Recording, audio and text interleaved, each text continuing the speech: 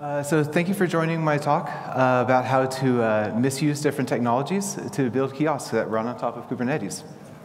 Uh, so we've all seen the interesting ways that Kubernetes can fail in the wild, right? Uh, depending on the situation, it can be humorous in this case, or probably very annoying in this case. Or especially like if you're like working with like an infotainment system where what happens actually doesn't matter all that much, uh, or potentially unsafe in the, in the case of a factory control system.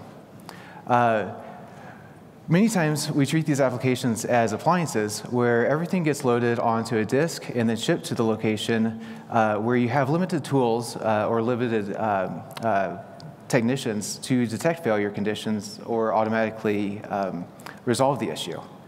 Um, in this talk, I'm hoping to show off a, a, project that I've been working on, really on and off, for about a year or two, um, where I have uh, containerized a desktop environment, specifically X11 uh, and Pulse Audio. And so, but first, why? Like, why would you want to containerize uh, what many of us likely assume to be a core part of your Linux platform? Um, how does adding a layer of complexity, or in this case, in the case of Kubernetes, several, uh, result in a better experience? Um, as an aside, I know that we're, uh, we have a pretty wide range of backgrounds in this audience. Um, so I might be going through some, uh, some more basic stuff uh, that you might already know. So please bear with me if you're one of the more technical people in here. Uh, I'm hoping to uh, keep things mostly basic with some deep dives. We'll see. Um, so I would argue um, that the, the technical reasons matter less uh, for than how it affects the people and process. Um, most of these most of the reasons for containerizing uh, are the same that we've been preaching for eight to 10 years or so, or honestly longer if you've been using Solaris Zones.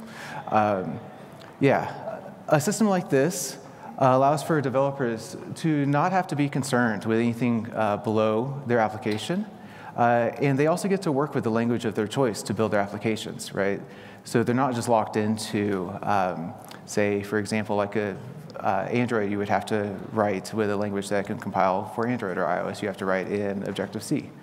Um, yeah, uh, for the maintainers, myself, the company that I work for, uh, it allows us to split the roles and responsibilities uh, across uh, more fine-grained components without incurring additional technical debt which means that we can actually turn around and give a, uh, a better standard of uh, stability and maintenance uh, for the products and projects that we're working on.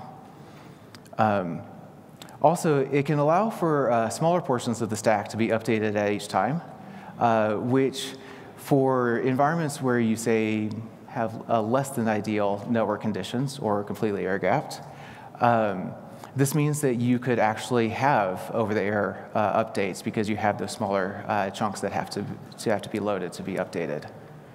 Um, lastly, it can allow for sharing uh, the compute that's driving the displays uh, to be able to run other workloads that might otherwise need a cluster in somewhere else, say the back office, random closet, under somebody's desk, wherever. Um, and this can save uh, on hardware, uh, networking, power, and space. Um, yeah, for example, the screen shown here, uh, each of those screens probably has a computer embedded uh, in it that's probably not using all of its resources. So if you could share those resources across uh, a larger cluster, then you're able to offload the need for as much uh, compute that's in the back office. so it can also turn around and like save you, save you some money on your deployments. Along with the process bits, uh, there's some security benefits uh, to be found. Um, I remember seeing an article a couple years ago on Hacker News uh, where somebody had gained access to a point of sale system uh, by asking it to print the terms and conditions and then telling the print dialog to use uh, the terminal to, do the, to print it, which means that it turned around and opened up the terminal, um, like a good computer would. Uh, yeah, so that's a, a, very interesting kind of security uh, uh, vulnerability, like a really weird attack vector that you probably wouldn't expect, right? Um, with containers and Kubernetes, uh, we can help mitigate attack vectors like this, right? Um, so because it's in the container, right, we, we naturally uh, are living in a network namespace with uh, and cgroups. Um, and we can also build our containers uh, so that they don't even have a shell to access and open up, uh, much less any access past that. Uh, we also get all of the CNCF uh, security landscape projects uh, that we get for free.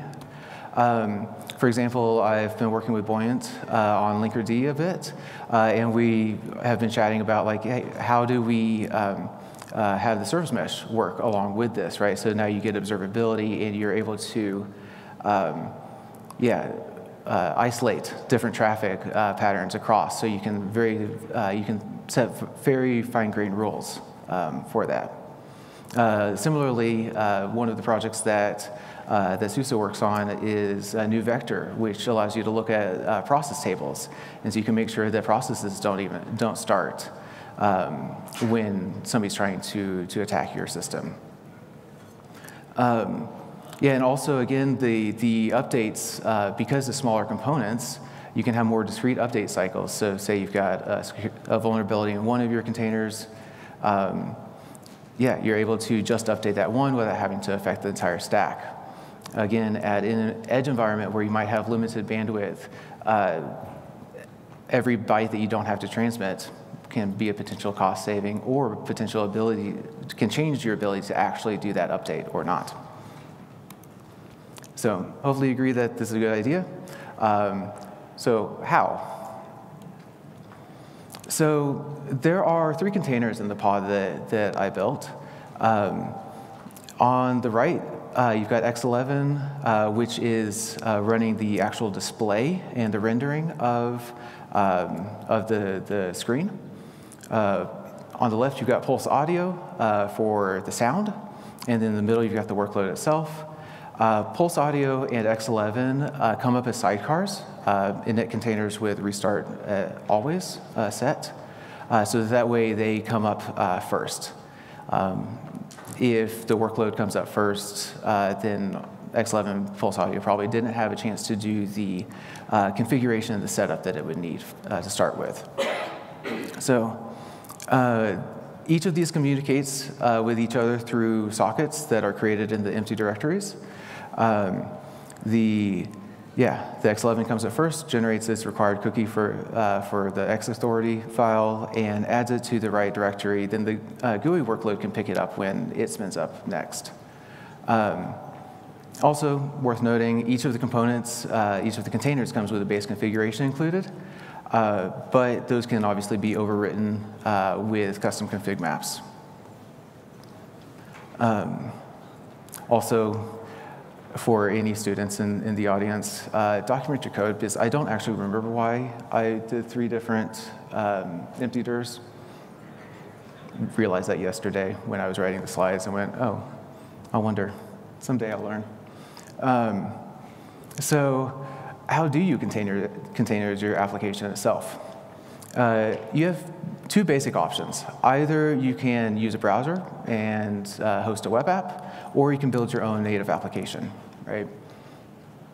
Uh, uh when you're working with a web app, uh, we've got a contain, uh, container that, container that has Firefox installed in it that automatically starts up with the kiosk flag, so it comes up full screen. Um, you also want to disallow key combos uh, via the X keyboard map um, configuration. And um, one, of the, one of the cool things about this is that the site that you're loading can be a service uh, in uh, the Kubernetes cluster because you're already local to that Kubernetes cluster, so all of the normal uh, routing and uh, DNS resolution just works. Uh, or if you want a little bit more, something a little bit more custom, or you're just more comfortable uh, writing on a, a native app, um, you can you can definitely build your own container using that. Uh, there's a couple things that you you need to uh, make sure to load. Um, there's a couple or a couple uh, libraries. Uh, specifically, you need your fonts. Tell a funny story about that in a bit. you need um, uh, the X11 libraries, you need the GTK libraries, libpulse and libasound if you want sound. Um, and as expected, uh, Electron, Tauri, and any of the like standard UI frameworks work uh, like you would like you would expect. Um, so you don't need to read this whole slide. But I did include it uh, because I found a lot of companies care uh, quite a bit about what's being displayed uh, in the case of a failure at some layer of the stack. Uh, because we all deal with software, software will eventually fail.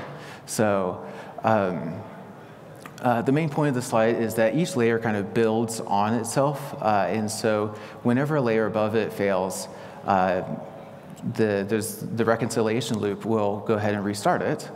Um, and what's shown while it's being restarted is what the layer under it uh, wanted to show. So you can brand kind of all the way from uh, start to finish. Um, yeah. So now for my favorite part of any talk. Um, what all did I break on the way? um, so first off, I found that there was a lack of documentation, or I was just not great at finding it.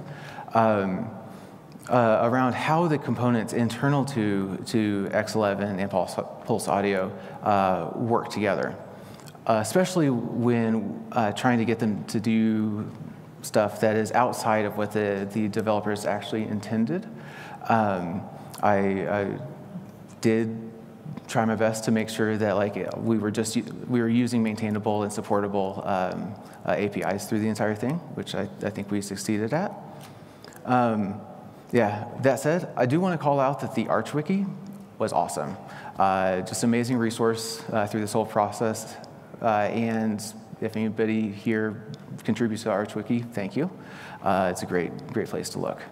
Um, also, learning uh, what permissions were needed uh, was a bit of a challenge due to the lack of documentation at times, right? So it ended up being a bit of a guess and check, um, and just, yeah, turning, turning different permissions off, going, hey, crap, that broke something. Okay, maybe I need that one. Um, yeah, next, uh, fairly early on, I was burned, I burned at least a week and apologized to my managers, uh, trying to figure out why I was only seeing a white screen get rendered uh, when loading a basic HTML file. It turns out that it was working, um, but I hadn't installed any fonts. So the, brown, so the browser rendered a blank screen because I hadn't added any CSS. Um, that took yeah, at least a, a, week to figure out. I actually had to like wire in a whole debugger for the for uh, Chrome to see like what was Chrome trying to do, right? Um, yeah, good times. Uh, yeah, similarly, I learned the hard way that Pulse Audio treats volume and muting as separate controls.